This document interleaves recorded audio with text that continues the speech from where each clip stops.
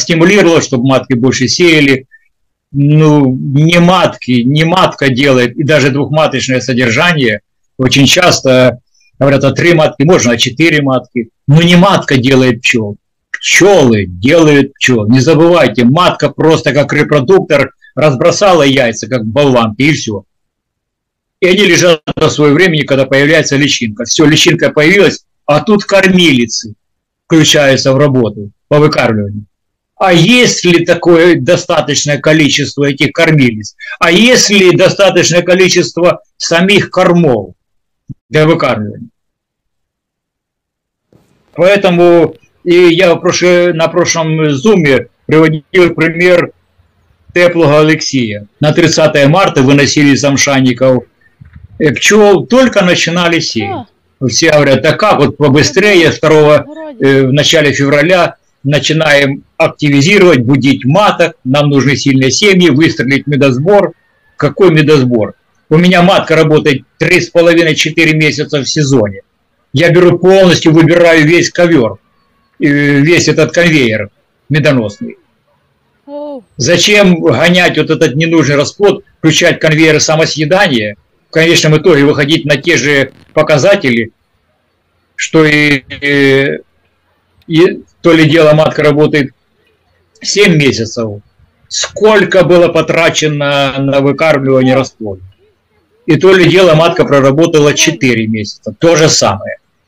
И феномен Заполярья, там, где матка работает 3,5, как раз вот эти 3-4 месяца, мы его с, удов... Э, с успехом применили с помощью изоляции в средней полосе. То же самое. Выпускаем, когда, когда семье спок... Э, есть возможность без особого напряга, без особых затрат энергии создать хороший микроклимат для воспитания личинок. Есть уже осталось что-то из зимы. И уже природа дает. Вот вам, пожалуйста, идеальные условия. И зачем нам поменять зима, начало весны два поколения и выстреливать затем в медосбор, если мы можем зимующую пчелу, у меня такое, я, говорю как в практике, если у меня в начале апреля я выпускаю матку, в начале даже бывало такое, что в середине апреля.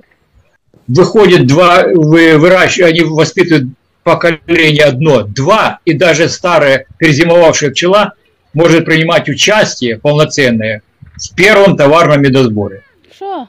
Или же можно включить с февраля месяца этот конвейер, кормить расход кормов. Какой, в чем смысл? Где, где логика? Зачем такое откуда может быть рентабельность. Четыре месяца матка работает в сезоне или восемь месяцев. И так вот включили, я говорю, конвейер самоседания. Вырастили, отошли. Вырастили, поколение последующее отошли.